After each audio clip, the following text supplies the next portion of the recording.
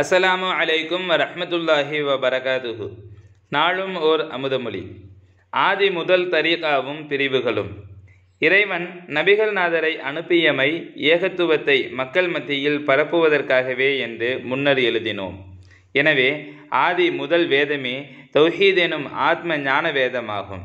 அதுவே ஆதி முதல் தரீகாவும் ஆகும் இறைவன் ஜிப்ரில் எனும் பரிசுத்த ஆவியான வானவருக்கு இறை ஒன்றெனும் சத்திய பிரமாணம் செய்து கொடுத்தான்.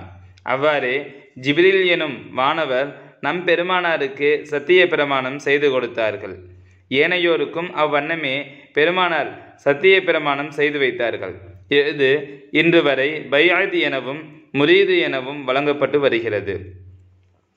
இந்த வகையிலே ஏகத்துவத்தை விளக்க வந்த ஆதி ஞான பாதை ஒன்றேயாகும். காலம் செல்ல செல்ல இந்த ஒன்றிலிருந்தே தரீகாக்கள் எனும் ஞான பாதைகள் பல அதிகரித்தன. அவ்வாறான ஞான பாதைகள் தனிப்பட்ட பெயர்கள் பூண்டு காதிரியா ஷாதிலியா நக்ஷபந்தியா என்பன போன்ற மூல தரீகாக்களாய் ஞான பாதைகளாய் விளங்கத் தொடங்கின. அவ்வாறு இம்மூல ஞான பாதைகளான தரீகாக்களுக்கும் கிளை தரிகாக்கள் உண்டாயின. எவ்வாறு இவைகள் வேறுபாடடைந்த போதும் ஆதி முதல் தரீக்கு ஒன்றேயாகும்.